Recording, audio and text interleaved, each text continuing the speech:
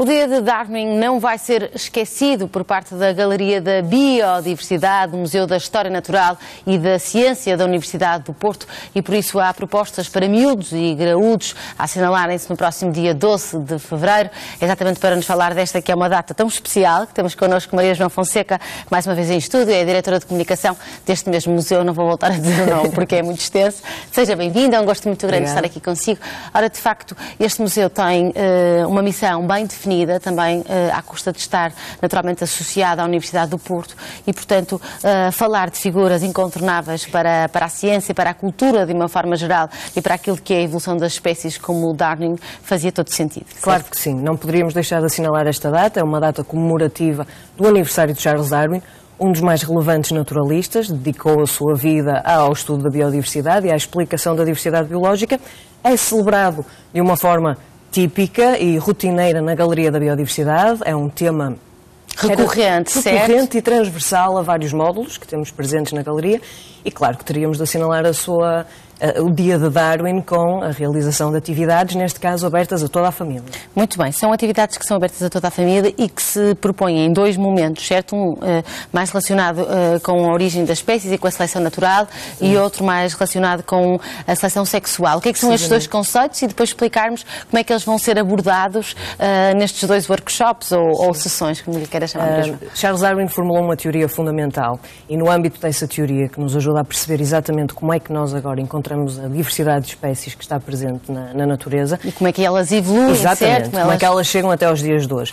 Estes dois uh, fenómenos ou mecanismos são fundamentais, a seleção natural e a seleção sexual.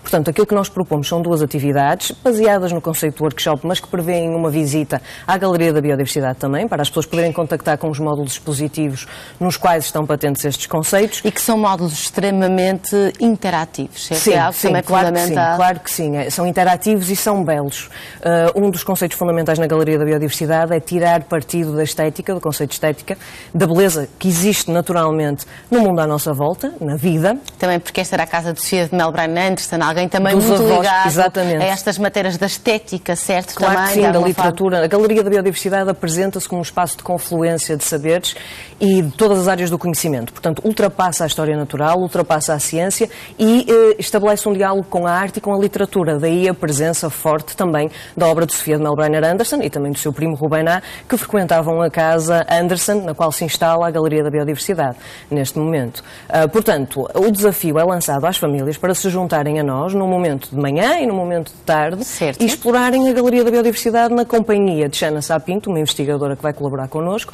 Portanto, esta iniciativa é, na realidade, uma parceria entre o Museu de História Natural e da Ciência da Universidade do Porto, mas também da Associação Portuguesa de Biologia Evolutiva e da Universidade de Aveiro e o Politécnico do Porto, a Escola Superior de Educação, aos quais a, a Xana Sapinto está afiliada. Muito bem. Primeiramente, vamos falar desta, digamos que seleção natural, que tem muito, muito a ver com algo que até nos acontece quando se fala uh, matérias de abortos espontâneos e, e, uh, e, tudo mais. É muito comum os médicos dizerem é seleção natural. Portanto, essa seleção natural existe em todas as espécies e isso vai de alguma forma ser abordado claro também nestas matérias. Da parte da tarde, temos um outro workshop. Uh... Sim, um conceito ligeiramente diferente, a seleção sexual que explica uh, fenómenos de diversidade e a evolução das espécies de uma forma interessante e que não está diretamente relacionada, quer dizer, acaba por estar também com a seleção natural.